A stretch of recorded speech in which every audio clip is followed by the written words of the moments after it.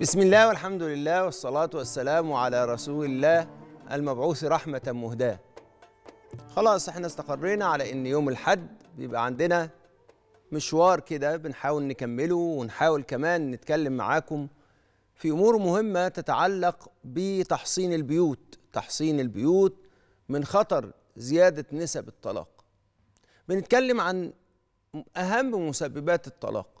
وازاي نقدر نعالجها وازاي نقدر نحصن البيوت أمامها. النهارده هنتكلم عن أحد المسببات الصعبة اللي في الحقيقة صعوبتها لأن هي في الحقيقة بتبقى خفية. ما بتتعرفش غير لما الناس يتكلموا عنها. ممكن تكون ظاهره من قبل الجواز من فترة الخطوبة لكن بتفضل تسري وتستشري في البيوت من غير ما الناس يتكلموا عنها بشكل واضح لكن بتظهر بقى في أفعالهم وتصرفاتهم. إيه الحكاية دي؟ الحكاية ببساطة خالص هي تفاوت احتياجات الزوجين. التعبير ده على فكرة ما بيتكلمش بس عن الاحتياجات ما بيتكلمش عن النيد بيتكلم كمان عن تصورات الزوجين عن الجواز نفسه. ففي فجوة في التفكير ما بين الزوجين. مش بس عشان ده راجل ودي ودي امرأة. لا عشان الزوج ممكن يرى زوجته ما بتفهموش وهناك فرق بينه وبينها. وبيقول لها أنا فين وأنت فين؟ أنا فين في التفكير وأنت فين؟ دماغي مش زي دماغك. وزوجة شايفة إن زوجها مش شايفها إنسانة كاملة وساعات مش شايفها أنثى. وساعات مش شايفها امرأة كاملة. وإن ناقصها حاجات كتير. وبالتالي الزوج ممكن يتجوز عليها مرة تانية. هي لسه بتفكر في دماغها. ما هو بدل مش شايفني امرأة كاملة أكيد هو هيروح يكمل ده مع زوجة تانية عشان يكمل النقص اللي عندي. هل التعرف على الاحتياجات بيكون قبل الجواز؟ ولا بنتعرف عليه بشكل كامل بعد الجواز؟ دي مش دايلما يعني دي مش أزمة مش هي دي الأزمة. هي المسألة إن إحنا فعلا نكون عارفين ذواتنا. لأن في كتير من الاحيين بيبقى كل طرف مش عارف احتياجاته. فتفاوت الاحتياجات في بعض الاوقات بيكون ظاهرة من اول الخطوبة والتفاوت واضح وإحنا واعيين بيه. تفاوت في الوعي تفاوت في الثقافة تفاوت في التصور عن الجواز والطموح. ويا سلام بقى في التفاوت في الطموح هي واحدة طموحة معاها واحد بيقول لها إحنا عايزين نعيش نونو نونو جنب الحيط. أو واحد طموح وزوجته مش في دماغها ده خالص. أهم حاجة ناكل ونشرب وننام وبس. وأوقات ما بيظهرش على فكرة التفاوت دوت من البداية. لأن الاثنين في البداية بيكونوا مشغولين بالعواطف ومشغولين بالأحاسيس ومشغولين فقط بإن هم ما تظهرش أي فجوة بينهم ومش عايزين يثيروا أي مشاكل بينهم. ويفضلوا عايشين في مسائل العواطف وما يثيروش النقاط اللي فيها اللي هم بيسموها الخلاف ساعتها وهي في الحقيقة إن هي نقاط تنوع محتاجين نتكلم عليها. وفترة الخطوبة بتبقى حلوة وبتعدي لأن إحنا مش عايزين نتكلم غاية الكلام اللي بنتكلم عنه والاحتياجات العاطفية أنا محتاجاك تقول لي كلمة حلوة محتاجاك تقول لي لكن محتاجاك إن أنت تشاركني في حلمي ما بيتكلموش في ده قوي وانتوا حضراتكم عارفين ده. أنا محتاجاك تشاركني في إن إحنا آه نأكد ذواتنا فنبقى بني آدمين فاعلين أو إن أنا أحقق رسالتي؟ ما بنتكلمش في ده كتير. ممكن بعض الناس اللي عندهم وعي يتكلموا في ده بشكل أو بآخر بس ما بيتكلموش في ده في ده كتير. وهنا بيبقى في حاجة مهمة جدا جدا جدا. إن إحنا لازم نستحضر ان وجعلناكم شعوبا وقبائل لتعارفوا مش فقط في الأمم الكبيرة ده بين الناس.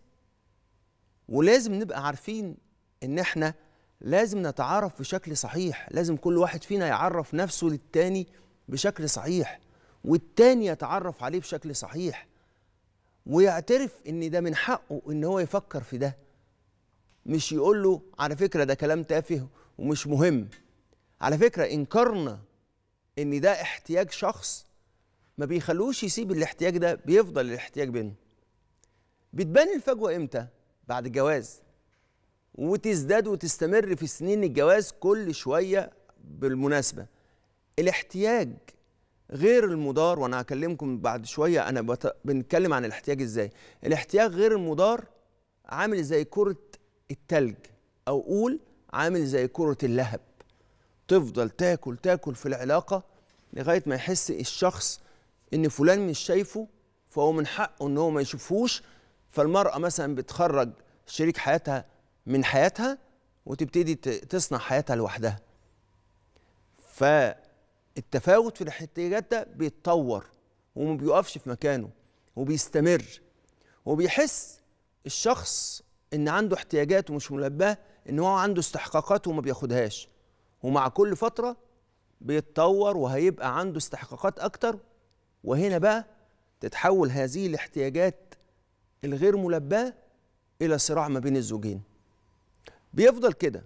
يجوا يقولوا لي في في الاستشارات الزوجية يجوا يقولوا لي أنا على فكرة إحنا خناقنا بيبقى على أشياء تافهة. آه على طول ببقى عارف إن في تفاوت في الاحتياجات. لأن هم مش عايزين يقولوا إن هم عندهم احتياجات يعني مثلا لو هي عندها احتياج إن هي تحقق ذاتها في حاجة فهي لو اتكلمت هيقول لها أنت ناقصك إيه؟ فتسكت. بس إيه اللي حاصل؟ بس لو الأولاد لعبوا فهو اتكلم تقول له مالكش دعوة بالأولاد. سيبهم يصرخوا زي ما هم عايزين يلعبوا زي ما هم عايزين مالكش دعوة. أنت ما تدخلش في تربية الأولاد. السبب على فكرة مش هو إن هم مختلفين على مسألة مين نرتب نربي الأولاد إزاي. لكن هي عندها احتياج غير ملبى فبيطلع بالطريقة دي. فلازم الزوجين العلاقة اللي بينهم يبقى هو عارف هي عايزة تطلع إيه وهي عايزة تطلع إيه بشكل صحيح. ويبقى هو شايف إن حياتها في بعض الأحيان بسيطة وهو طموح. فإيه اللي حاصل؟ فكل ما يجي يكلمها يعبر لها. عن, عن إن هي تافهة وبأشكال متعددة وإن هي ما بتشاركوش طموحه. فتزيد الفجوة خالص. لو هو شايف نفسه جدير بالنجاح وهي شايفاه وهو شايفها بعيد عنه قوي عن النجاح فتحول الزوجة من مشاركة من مشاركة ليه في النجاح والصعود والمساعدة فيه على أداء وظائفه إلى وظائف خدمية بقى. لما الإنسان ما بيبصش لشريك حياته بكل جوانبه بيحاول بيحاول يرسم لشريك حياته جزء كده يحطه في مربع معين. فتبقى الصورة دي صورة خاصة لأدوار خاصة في الأسرة ويبتدي يعظم بعض الأدوار. فطالما هي ما بتشجعوش وما بتكونش معاه في طموحه وما بتشاركوش في طموحه يزود هو في جانب معين. مثلا ويزود في حق من حقوقه. فمثلا إذا كان عنده احتياج مبالغ فيه في العلاقة الخاصة يحطها بقى في الركن ده ركن العلاقة الخاصة. فيبقى انت عليك ان انت تزودي ده عشان توفي بانك انت ما بتشاركنيش في طموحي. ويبقى ده اللي هيعمل عنده المعادلة. ودي أسوأ فكرة في موضوع تفاوت الاحتياجات إن انت تحط شريك حياتك في دور وتحبسه فيه لأن انت شايفه إن هو ما بيلبيش احتياجاتك في الأشياء الأخرى. مش هو ده اللي اتكلم عنه حضرة النبي صلى الله عليه وسلم. لا ده هجران. وده فجوة وده كسر الخواطر وده أذى. رسول الله صلى الله عليه وسلم لما قال لا يفرق مؤمن مؤمنة إذا كره منها خلقا رضي منها رضي منها الآخر. ده معناه الرضا إن أنت مش إنك تعاقبها بإنك أنت تحبسها في دور معين في حياتها ولا إن هي تعاقبك فتحبسك في دور معين في حياتك لأن الجواز في الحقيقة مش معادلة.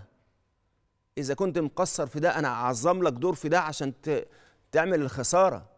الجواز مش معادلة الجواز معاملة ومعاملة لله قبل ما تعامل زوجتك. هل كان في مقارنة بين مقام النبوة صلى الله مقام حضرة النبي صلى الله عليه وسلم وأي مقام لزوجاته؟ حضرة النبي صلى الله عليه وسلم. إيه عمل إيه؟ رفعهم رفع زوجاته. وحضرة النبي شوفوا اتعامل معهم إزاي. تباسط معهم صلى الله عليه وآله وسلم. وما خلوهمش يشعروا بهذا بهذه المسافة بين مقام النبوة ومقام حضرة النبي صلى الله عليه وسلم تعامل مع السيدة خديجة تعامل من يحتاج إلى أم. وأظن إن بداية تسمية أمهات المؤمنين جاي من السيدة خديجة الكبرى. لما قامت بدور الأم لما نزل حضرة النبي صلى الله عليه وسلم يقول زملوني زملوني دسروني دسروني. فتقابله السيدة خديجة بهذا الحنان الوفير. فتقول له والله ما يخزيك الله أبدا. يا سلام على هذا الدعم الرائع وهذا الدور الراقي من السيده خديجة. ثم يأتي للسيدة عائشة ويبقى في نموذج الزوجة للابن.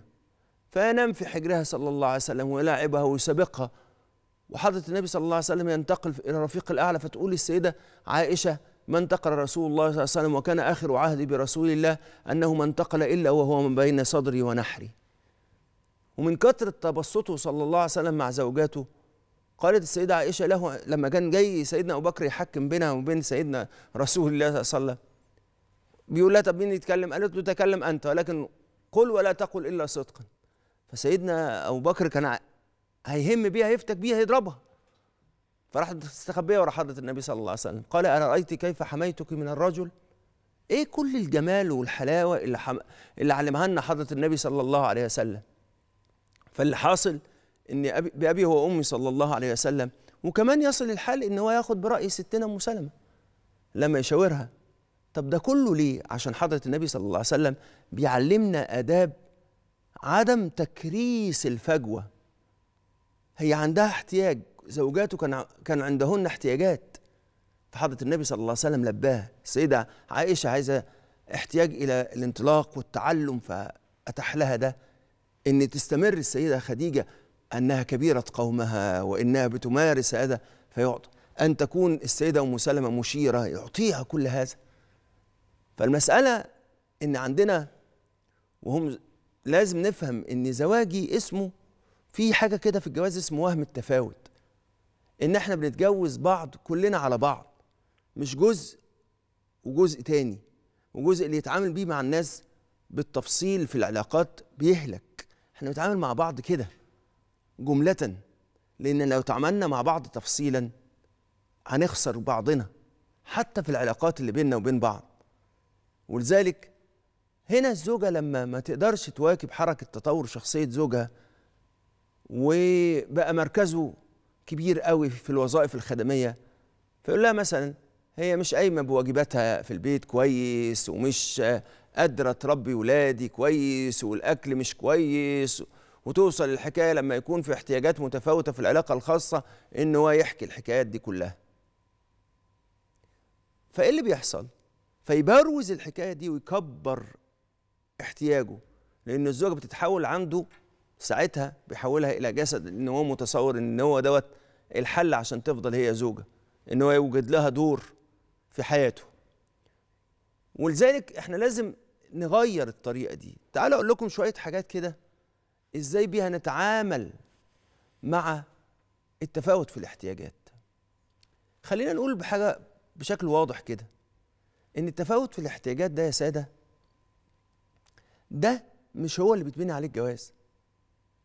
حتى لو حصل في تفاوت في الاحتياجات في أول الزواج لازم نعمل إيه؟ لازم نتكلم. ولازم نتطور ولازم نتعلم ولازم ننضج. يعني أسوأ الرجال اللي هو يكون بيزداد وعي ويسيب زوجته. أنا على طول بتشكك في الراجل اللي بيعمل كده ويسيب زوجته على وعيها ده. أنا ساعتها بحس إن هو ناوي إن هو ما يكتفيش بيها. ولذلك إيه اللي حاصل؟ واجب على الزوج في ظل بقى إن هي مش ملزمة وهو مش ملزم والكلام اللي ملوش أي طعم وملوش أي معنى لا إحنا ملزمين إن إحنا نطور أهلنا وناسنا. ملزم إن أنا أطور شخصية زوجتي. ملزم إن أنا أخليها أفضل لأن المرء على دين خليلي. وإذا كنت أنا بتطور في الوعي أنا لازم أطورها. يقول لي إذا كانتش هي عايزة الوعي مش بس هو الثقافة. الوعي حاجات كتيرة لازم نعملها. يعني لو تزوجت زوجتك وهي ما حصلتش على قدر من التعليم لازم تساعدها إن هي تكمل تعليمها. مش بس عشان تبقى أم الأولاد مناسبة عشان تبقى كمان بينكم منزلة أعلى في مسألة التوافق. فلازم أول حاجة نتعلمها إن كل واحد فينا لابد أن يتفقد أهل بيته ويتفقد احتياجاتهم أنا من الناس اللي بيقولوا لازم نجلس مع بعض وكل واحد فينا على الأقل جلسة كل أسبوع يتفقد احتياجات شريك حياته. نجلس كده. إيه الأخبار؟ إيه اللي ناقصك؟ إيه اللي محتاجاه؟ وبلاش كلمة اللي ناقصك لأن أنا عندي الاحتياجات مش نقص إحنا ما كانش متصور إن إحنا كنا كاملين فحصل لنا نقص. فالاحتياجات اللي عندنا دي مش نقص الاحتياجات دي صفات عشان نتطور ونبقى أحسن. عشان ما يجيش حد فينا يبص للتاني بأول حاجة لازم نعملها نغير مفهوم الاحتياجات عندنا. الاحتياجات مش نقص. عشان ما يجيش الراجل يبرر لنفسه إن هو ما عندوش احتياج للاحتواء فيروح لحد تاني يحتويه. ولا المرأة إن هي ما عندهاش احتياج للاحتواء فتعاقب جوزها وتمنعه من إنه يعيش حياة مستقرة. لا الاحتياج ليس نقصا. الاحتياج صفة إنسانية مش هتزول عننا خالص لأننا يا أيها الناس أنتم الفقراء إلى الله.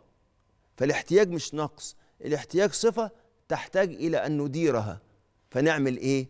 نتكلم مع بعض عن احتياجاتنا. كل احتياجاتنا نتكلم فيها مع بعض. يبقى جلسة أسبوعية نسأل بعض أنت محتاج إيه؟ ولما أنا أعمل حاجة عشان أدير احتياجات شريك حياتي أتأكد إن ده حصل ووصل إليه. لما حد يقول لي والله أنا محتاج الأسبوع دوت إنك تقرب مني شوية محتاج إن أنت تكلمني محتاج إن أنت تقفي جنبي محتاج إن الأسبوع دوت على طول نعمل إيه؟ نمتن ليه. يبقى أول حاجة نصرح باحتياجاتنا. تاني حاجة نمتن لمن صرح باحتياجاته. بالله عليكم بلاش حكاية يعني أنت بتقول إن أنت محتاج احتواء قصرت أنا معاك في إيه؟ أعوذ بالله على هذه الطريقة دي مش طريقة مناسبة يبقى أول خطوة نصرح باحتياجاتنا مرة كل أسبوع الحاجة التانية نقترح إن نقترح الحل إن أنا محتاج إن إحنا نعمل كذا كذا كذا كذا الحاجة التالتة نمتن. لشريك الحياة إنه يصرح باحتياجه يبقى بدل التكسير اللي ممكن يحصل لا خد زوجتك معاك ومش هخليها تشاركك. تالت حاجة بقى إن إحنا نعمل إيه؟ نعمل أشكال للمشاركة. بدل ما تكسرها وتألمها وتضايقها خدها معاك وخليها تشاركك الأشياء عشان ترتفع معاك في الوعي. خلي زوجك يتك... يتكلمي مع زوجك في اهتماماتك. الحاجة الحاجة الرابعة بقى نبحث عن موارد جديدة لينا عشان نستثمرها ونوسع إطار حياتنا. لأن في بعض الأحيان الجانب الاقتصادي لما بيضغط علينا بيخلي الاحتياجات كلها تضرب عندنا. حاجة مهمة جدا جدا نختم بيها إن إحنا لازم من وقت للتاني على الأقل كل شهر نغير حاجة في برنامج حياتنا. لازم نفكر في برنامج حياتنا ونغير في برنامج حياتنا طول الوقت. بنغير في برنامج حياتنا بناء على إيه؟ بناء على رسالتنا واهتماماتنا واحتياجاتنا. لما نعمل ده أنا أظن إن إحنا هنكون أفضل وأريح وهنكون كمان بنقدر نوفي احتياجاتنا. ما أظنش إن كان الكلام عن الاحتياجات بس كان هيكفيه الكلام النهارده. بس الكلام اللي إحنا قلناه ممكن نبتدي فيه النهارده. وممكن نفكر كمان إن إحنا نزود كلام عن الاحتياجات لأن الكلام عن الاحتياجات ده صداع بيبقى في قلب كل واحد. لو ان شريك حياته ما بيحسش باحتياجاته بيعتبره إن هو مش شايفه ومش حاسس بيه وبيعتبر إن هو خارج حياته. عايزين ندخل حياة بعض بإن إحنا نساعد بعض على إن إحنا ندير احتياجاتنا ونخلي احتياجاتنا حافز وشغف يخلينا دايما حياتنا تتقدم إلى الأمام ونفتح أبواب جديدة لحياتنا عشان ننضج وكمان نستثمر علاقتنا وكمان نخرج أحسن ما فينا.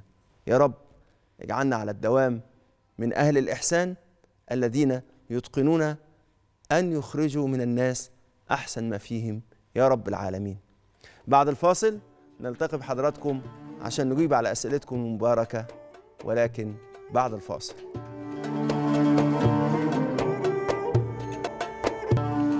رجعنا لحضراتكم ومعانا صفحتنا على الفيسبوك صفحة برنامج ولا تعسروا اللي إحنا بنتلقى عليها أسئلتكم وتفضل الجسر منور بيننا وبين حضراتكم اللي بيوصلنا بمجالس العلم وان إحنا بندخل بيها إلى حضرة مولانا سبحانه وتعالى على الدوام. وأول سؤال عندنا النهارده السؤال من الاستاذه شيماء من القاهرة اتفضلي. آه، حضرتك السلام عليكم يا شيخ. عليكم السلام ورحمة الله وبركاته. آه، من فضلك. أنا دلوقتي آه، أنا بقالي بقالي سنتين ونص غضبانة عند والدتي و سنتين وأبو ونص غضبانة عند وأبو والدتك؟ وأبو البنت ما بيسألش عليها ولا بيصرف عليها وحاولت إن أنا أبعت لهم ودي وأهله رفضوا وخدوا الحاجة بتاعتي وسربوها باعوها. قالوا لي أنت مالكيش حاجة عندنا ودخلت معاه في قصة المحاكم. بيقابلني في المحاكم ما بيقوليش بنتي عاملة إيه جبت له أحكام. آه هربان ما أعرفش حاجة عنه. لحد امبارح بعت له ناس من عنده من البلد آه والدته قالت إحنا ما نعرفش حاجة عنه واللي معاها تعمله بنتي طيب. دلوقتي عندها سنتين ونص وهو ما فكرش إن هو يسأل عليها طب أنا بس سؤالي أنت سنتين ونص غضبانة عند أهلك كان إيه سبب الغضب؟ والدته وأخته. والدته وأخته وهو فين آه. في العلاقة؟ آه، هو م- مش عارف يحميني منهم. لما والدته وأخته طلعوا تهجموا عليا وأنا حامل حاول يهربني منهم. راح مخليني نطة من على السطوح وأنا حامل في أربع شهور. يعني دي دي عركة بقى؟ آه كان هو مش عارف يحميني منهم وأخوه ما هو آه، بس بس هو بس هو بس هو. بس هو سؤالي سؤالي سؤالي بس عشان بس نفهم. لأن. أنا ما عنديش هو مش موجود معايا دلوقتي. وأنت اللي بتكلميني بس. انت بتسأليني دلوقتي ان أنا اوجه له كلام يا ريت والله هو بي هو أنا اوجه أنا. خليني أقول لحضرتك حاجة أنا أوجه لكم أنتوا الاثنين الكلام لأن اتفضل. معذره بعد إذن حضرتك كان المفروض إن إحنا يبقى عندنا خطوات كتيرة جدا جدا قبل ما نوصل للنقطة اللي إحنا فيها دي وحضرتك أنا. عارف هتقولي إن إحنا عملت كل اللي حضرتك هتقول عليه أنا آسف يعني اتفضل. إحنا لما بنيجي نتجوز بعض ما ينفعش إن الزوجة تقول أنا حافظة جوزي. لما أجي أقول لها والله هو هيتغير تقول لي لا أنا حافظاه مفيش أمل.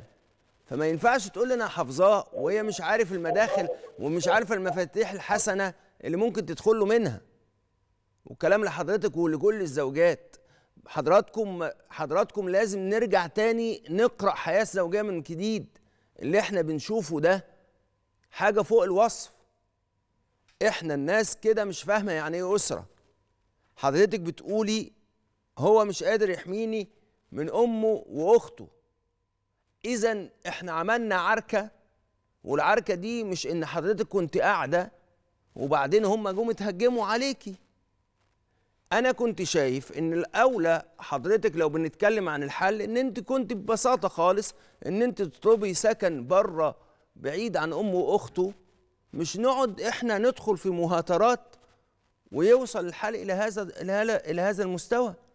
وعشان ما حدش يقول أنت ليه بتكلمها وتقول لها كده وهم اللي غلطانين فيها وهم اللي أذينا. أنا ما سمعتش ما سمعتش الطرف الثاني لكن خليني أقول لحضراتكم إن الزوج اللي يسيب زوجته سنتين ونص هذا ليس من قبيل الشهامة. وإن يضطرها إن ترفع عليه قضية لأن هو مش عايز يتصرف ويحمي بيته فهو واقع في تحذير حضرة النبي صلى الله عليه وسلم وتحذيره من انه وقع في اعظم الاسم. إن من اعظم الاسم أن يضيع الرجل من يعول. ليس من خياركم خلونا نمشي بقى مع كلام حضرة النبي. ليس من خياركم من يل من يلجئ زوجته للمحاكم. دوت مش من خيار الناس.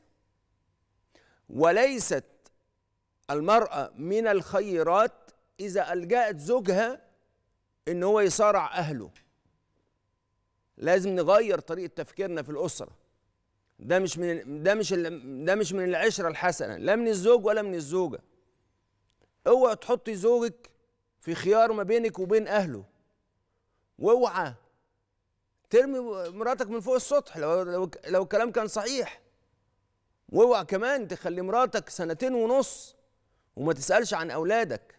لا أنت هتسأل أمام الله سبحانه وتعالى. وكمان في العيشة اللي أنت عايشها تمحق البركة منك لأنك أنت ظالم ظالم أهلك. لازم الناس لما تعتبر إن المشاكل وأنا بحذر الناس وبقول للزوج الكلام ده ليس معنى اني كرة اللهب في المشاكل بدأت تتدحرج إن خلاص وصلنا للنهاية. ابدا. الرجل هو من من يظهر في الأزمات. تتحمل مسؤوليتك وتحل المشكلات. مش إن خلاص المشكلات بدأت وخلاص إحنا وصلنا للنهاية. ابدا. الرجال ما بيعرفوش كده لأنه معاهم مدد من ربنا سبحانه وتعالى. واستعن بالله ولا تعجز. يبقى أنت ارجع وارجع لبيتك وحاول تحل مشاكلك وحاول تفض كل هذه النزاعات عشان أولادك وعشان زوجتك. دي ما زالت لحمك ودمك. ما زالت انت مسؤول امام الله عنها. فاتق الله سبحانه وتعالى ولا تلجئها ان هي هتعمل إيه لما هم يحتاجوا ياكلوا ويشربوا وما يلاقوش. ده كل ده وربنا سبحانه وتعالى بينادي عليك عد إلي يا عبدي واتق الله في أهلك واتق الله في أهل بيتك ولا تضيعهم فإن هذا يغضبني. فعليك إن أنت ترجع لربنا سبحانه وتعالى.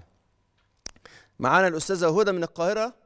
السلام عليكم. إزيك يا حاج؟ إزي حضرتك؟ وعليكم السلام ورحمة الله وبركاته. بقول لحضرتك أنا عندي ثلاث أسئلة كده. اتفضلي. اولا آه، أنا عاوز أعمل بعمل صدقة لوالدي ولزوجي. مثلا بفرج عليه قرص وكده. ده يوصل لي ثواب ولا ما يوصلش؟ وإيه الصدقة اللي ممكن أعملها لهم الاثنين توصل لهم كويس؟ ده أول سؤال. تاني سؤال؟ تاني سؤال. أنا لابسة أسود آه، جوزي هيكمل سنة الشهر ده. فأختي بتقول لي حرام لأن أنا نفسيتي تعبانة. الأسود مخلي نفسيتي تعبانة جدا. بتقول لي حرام وكده. عادي أسود حرام. أنا طيب أكمل. آه، آه، ده الحاجة الحاجة الثانية الحاجة الثانية الحاجة الثالثة بقى أنا نفسي نفسي حضرتك من قلبي وجعني قوي على زوجي بقى أكبر بكم سنة بس قلبي وجعني قوي إن شاء الله. كل ما أفتكره قلبي وجعني جدا. ربنا سبحانه وتعالى- لأن أنا ما عنديش أولاد كمان فعايشة لوحدي. فادعي لي ربنا يسطرني بس مش أكتر أنا. هدعي لك وأقول لك تعملي. هدعي لك وأقول لك تعملي إيه كمان أنت إن شاء الله ربنا سبحانه وتعالى يجعل يجعل انتقال هذا العزيز عليك إن شاء الله رفعة في درجاتك وإن شاء الله يشرح صدرك وإن شاء الله يريح بالك ويجعلك إن شاء الله يصل إليك عاجل البشرى بأنه في مستقر رحمته وإن شاء الله يجعل حياتك المقبلة وصل بالله سبحانه وتعالى ومدد وبركة ونور ويفتح عليك أبواب الخير كلها لكي تكوني في خير حال إن شاء الله.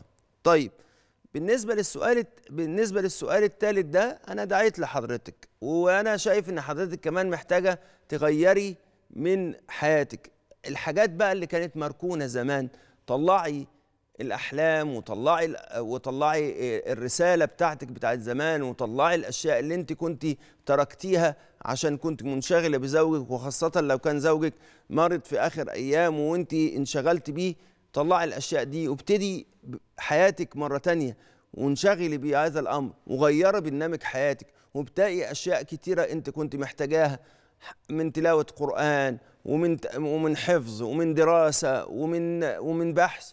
يلا توكلي على الله وربنا إن شاء الله هيجعل قلب هيجعل ده كله نور وبركة وتطيب خاطرك إن شاء الله. بالنسبة للأمر الثاني أنت لا مش أنت ليس فرضا عليك أن تظلي آه، بعد كل بعد آه، بعد الاربع أشهر وعشرة إن أنت تحتدي ومش لازم الاحتداد بالمناسبة نلبس فيه أسود خالص. فانت ليه لابسه اسود؟ إذا كان الأسود ده مأثر على مأثر على نفسيتك ده انت كده ممكن يكون حرام عليك إن انت تلبسيه. إذا كان بيأثر على نفسيتك لأن انت كده بتأذي نفسك وبتلقي بنفسك في في التهل- في التهلكة. يبقى خلاص يبقى انت لازم تغيري دوت وتغيريه عشان كمان عشان انت مأمورة شرعا إن انت تحافظي على نفسيتك. الأمر الأولاني اللي انت حضرتك كنت سألت عنه هي مسألة إن أنت الأشياء اللي أنت بتوزعيها هل يوصل ثوابها؟ إن شاء الله يوصل ثوابها. عشان تتأكدي ان هيوصل ثوابها كمان بعد ما توزعي الحاجات دي قولي اللهم هب مثل ثواب صدقتي لشريك حياتي وحبيبي أو لشريك حياتي ووالدي وإن شاء الله يصل إليهم. نعم. معنا مين؟ معانا الأستاذة فاطمة تتفضل. وعليكم السلام ورحمة الله وبركاته. سامعك يا أستاذة. فاطمة بس أتمنى. عليك إن أنت توطي التلفزيون وتسمعيني من التليفون لو تكرمتي. ماشي. أيوه ما حكمتش أنا طبعا ليا شهرين زعلانة في بيت بابايا. هو إيه الحكاية؟ الحكاية إن ابن سيلفي قاعد يتبلى عليا اللي أنا بتكلم على عمامه وعلى سته وعلى عماته. طيب. وطبعا راح لما جيت أواجهه بالكلام ده بقول له أنا بتكلم بقول إيه والكلام من ده راح اتطور عليا وكان عايز يضربني وتف عليا وعلى بالله. أهلي وس... وسب سب فيا وكده نعم فطبعا راح جاي جوزي طبعا مشاني نزلني يعني وداني عند أهلي وكده فلحد دلوقتي ولا في أي سؤال ولا أي اعتبار ولا أي حد واجهني بهذا الكلام فأنا مش عارفة أعمل إيه طيب. وكل ما آجي أتأسف له يعني أرن على جوزي واتاسف له مرة واثنين وثلاثة وأربعة مش قابل للتأسيف. ويتقبل منهم الكلام. ما توجهليش أنا اللي أنا شايفني اللي أنا قلته ولا ما قلتش الكلام ده. طيب أنا أنا أنا هقول لك تعملي إيه. هو طبعا نعم. طبعا إحنا لازم لازم نراعي إن إحنا دايما بنسمع من طرف واحد فبنوجه الكلام بناء على هذا الكلام. بصي يا ستي انت لازم يتدخل وسيط فكرة وجود الوسيط دوت شيء مهم جدا جدا في حياتنا. حد يكون حكيم حد يكون صاحب عقل وبصيرة يكلم الشخص ده. فالوقت دوت إحنا محتاجين وسيط وهو دوت اللي إن السير في في إصلاح ذات البين يقرب العبد من الجنة. فش ف- فننتقي حد حكيم يتكلم معاه وأنا بقول له هو لو سمحت بعد إذن حضرتك اتقي الله سبحانه وتعالى في زوجتك. أنت يا جماعة الخير في ناس كده بيعملوا حاجات كده تناقضات عجيبة الشكل. يقول أهلي وناسي اللي إحنا عندنا نسب وعيلة ولا مراتي اللي هي غريبة علينا. حبيبي ما بقتش غريبة عليك. خلاص بقت زوجتك. مش مش بقت زوجتك وبس. عندما ينصرف الكلام عن عن الأهل في الأدلة الشرعية فبينصرف أول ما ينصرف على زوجتك وأولادك. فأنت فأنت بتعمل إيه؟ فأنت حتى لو أهلك لو والدتك أو والدك قالوا لك اطرد مراتك من البيت ما تسمعش كلامهم. ما تسمعش كلامهم وهذا ليس من بر الوالدين. فاتق الله سبحانه وتعالى في نفسك. بر الوالدين فيما يخصهم لا فيما يخصك. فيما يخصهم هم وحياتهم إن أنت تريحهم وإن أنت تساعدهم وإن أنت تخليهم مبسوطين هم نفسهم. بس أكيد مش من بر الوالدين ابدا إن أنت تغضب مراتك شهرين وما تسمعلهاش كلام. وتظن إن أنت كده بت بتعمل حاجة عشان تحافظ على الأسرة. على فكرة الكلام ده حتى لو إحنا بنعيشه في أعرافنا هذا عرف فاسد. إن الواحد يعمل تنا... إن واحد يعمل مقابرة ولا تناقض ما بين أهله وزوجته وأولاده. هذا كلام فاسد هذا كلام لا يصح ولا يجوز وأنا بكلم الأهل. ما تشجعوش أولادكم على ده وده من المفاهيم اللي إحنا عايزين نصححها ما بين الناس. مش عشان أهلي أرمي مراتي. لا ما أرمي مراتي مين؟ ده هي ديت هي ديت أول شيء هتسأل عنه يوم القيامة. هتسأل عن عن عن أهل بيتك. وهتسأل وه- و- ومن أعظم الإثم أن يضيع الرجل من يعول. فاتقوا الله سبحانه وتعالى في زوجاتكم. بلاش هذه الأشياء اللي يجب إن إحنا نتغير فيها بقى. ويجب إن الأهل يبطلوا الكلام اللي بي اللي في الحقيقة لا علاقة له آه، بمحاسن الشريعة ولا علاقة له بالدين الحنيف. إن نؤجج صراعات ما بين الزوجة الزوجة الغريبة علينا والاهل اللي هم عمود النسب. لا ده كلا- كلام كلام ما- ما فيش أصلا علاقة في الشريعة بيه. فعشان نتقي الله سبحانه وتعالى ونلتزم محاسن الشريعة ولو سمحت اتقي الله سبحانه وتعالى ورجع مراتك واتقي الله سبحانه وتعالى في زوجتك. نعم. أستاذ محمد من المنوفية اتفضل. السلام عليكم يا مولانا. عليكم السلام ورحمة الله وبركاته. اولا بتوجه لسيادتك وكل القائمين في المنظومة الجميلة الأزهر بالشكر. ووزارة الأوقاف بس استاذن جنابك هو تعليق بسيط بخصوص الموضوع اللي حضرتك بتتكلم فيه. ثانية لو سمحت مش سامع حضرتك ثانية واحدة. اتفضل يا أستاذ محمد. حضرتك حضرتك إحنا بتوجه بالشكر للأزهر ولوزارة الأوقاف وكل علماء الأزهر. اتفضل يا فندم. حضرتك بخصوص الموضوع اللي حضرتك بتتكلم فيه ده بقى موضوع شائك في كل القرى وفي كل المحافظات في كل الدنيا. فأنا هستأذن حضرتك هو ليا بس تعليق بسيط. يا ريت آه، ينول رعاية سيادتك يعني. آه، دي حضرتك تبقى خطبة جمعة آه، متواصلة أكتر من شهر أو شهرين لأن دي حضرتك إحنا بنتكلم في أساس الأسرة والبيوت والشباب والبنات مش فاهمين يعني إيه زواج وأسرة ورعاية. والناس بتعمل مقارنة بين الأهل وبين ال- الزوجة وبتتهد البيوت وفي السنة الأولى بيحصل خراب كتير. فهستأذن حضرتك في دول كتير بتعمل الخطبة من ورقة كاملة موافقة عليها وزارة الاوقاف فالموضوع ده حضرتك لو أديته رعاية وبقت الخطبة عنوان و70% مطبوع من الاوقاف اللي الإمام يقراها فأنت حضرتك كده ساعدت كتير قوي إنك ما تقعدش القعدة دي ونحل نستفيد بحاجات الشريعة لأن إحنا نستفيد ان حضرتك تضيع في وقتك كتير طيب. شكرا يا أستاذ محمد أنا شاكر لحضرتك لهذا المقترح وهو في الحقيقة شيء مهم جدا. وخليني أقول لحضرتك خليني أقول لحضرتك حاجة مهمة كمان. إحنا من 2014 وإحنا في دار الإفتاء المصرية بنشتغل على برامج للمقبلين على الزواج. وكمان فتحنا كمان الكلام عن مسألة الارشاد الزواجي ف وفي مؤسسات كتيرة في الدولة بتعمل برامج للمقبلين على الزواج. فأنا دعوتي لكتير من المؤسسات إن هم يشتغلوا على فكرة تأهيل المقبلين على الزواج. مش بس تأهيل المقبلين على الزواج أنا شايف إن لازم يبقى دي ثقافة عامة. أنا كمان بقول إن لازم إن الشعب كله يبقى عنده الوعي بمسألة مفهوم الزواج. هل مفهوم الزواج تأثر؟ الجواب نعم. هل مفهوم الأسرة تأثر؟ الجواب نعم. وهل نحن نحتاج إلى ترميم مفهوم الأسرة؟ نعم. وعشان كده أحسنت الإدارة المصرية لما خلت جزء من استراتيجية الدولة هو تنمية الأسرة. نحن نحتاج إلى تنمية الأسرة نعم. وأهم الأشياء اللي إحنا محتاجين ننميها هو ما يسمى بقيم الأسرة. أهم الأشياء اللي إحنا محتاجين ننميها محتاجين ننمي إن الأدوار الخاصة بكل حد في الأسرة هي أدوار كرامة مش أدوار صراع وصدام. ما ينفعش اللي إحنا بنسمعه ده إن فلان ملزم ولا فلان مش ملزم. إحنا ملزمين بالقيم ملزمين بالرحمة ملزمين بالمودة ملزمين بالخير ملزمين بالعبادة ملزمين بالجمال. لكن هذا القبح اللي إحنا شايفينه كفايانا قبح. وخلونا نقبل على الله سبحانه وتعالى وتبقى الأسرة قبلة ومحراب صلاة نصلي فيه مش حلبة صراع نتخانق فيها ونتصادم فيها. ربوا أولادكم على أن الأسرة مكان للسكون مكان للفرح مكان للسعادة مكان للسعة مكان لتقبل وجهات النظر مجال للتنوع مجال للمحبة مجال للتغاضي.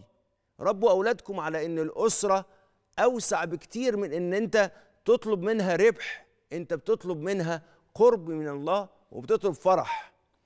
إذا ما فهمناش أن الأسرة كده إحنا عندنا أزمة كبيرة جدا جدا جدا في فهمنا للأسرة آن الأوان إن إحنا نفهم إن الأسرة مش شركة بمعنى البيزنس. الأسرة مولود جديد. محتاجين كل واحد فينا يبذل عشان المولود ده يطلع في أحسن صحة وأحسن عافية وكمان يتفتح بيه أبواب السعادة والهنا. كل ما هننفق وكل ما هنرعى الأسرة كل ما دوت هيكون في مصلحتنا كلنا. كل ما هنتعافى كل ما هنسعد. الأسرة ما تستحقش مننا اللي إحنا بنعمله ده. الأسرة تستحق مننا إن إحنا نصبر ونرضى ونحاول ونتغير ونتدرب وننضج. وكمان نمارس ونبني حياتنا مع بعض ومستقبلنا مع بعض. محتاجين نتكلم مع بعض كتير. محتاجين نتغاضى كتير. محتاجين نشوف أحسن ما في شريك في حياتنا ونخرجه. إحنا محتاجين إن الأسرة تصبح قيمة وتصبح قيمة لا نتجاوز فيها. يا رب الهمنا ووفقنا إن إحنا نحافظ على أسرنا لأن حفاظنا على أسرنا وحفاظنا على كياننا وحفاظنا كمان على قيمنا. وعلى قربنا من الله سبحانه وتعالى. يا رب الهمنا المدد واجعلنا من أهل سعه الصدور ومن أهل الرشد ومن أهل الإحسان. يا رب العالمين يا أكرم الأكرمين أكرمنا بمددك وأمد بيوتنا برحمتك وجودك ومودتك. يا رب العالمين.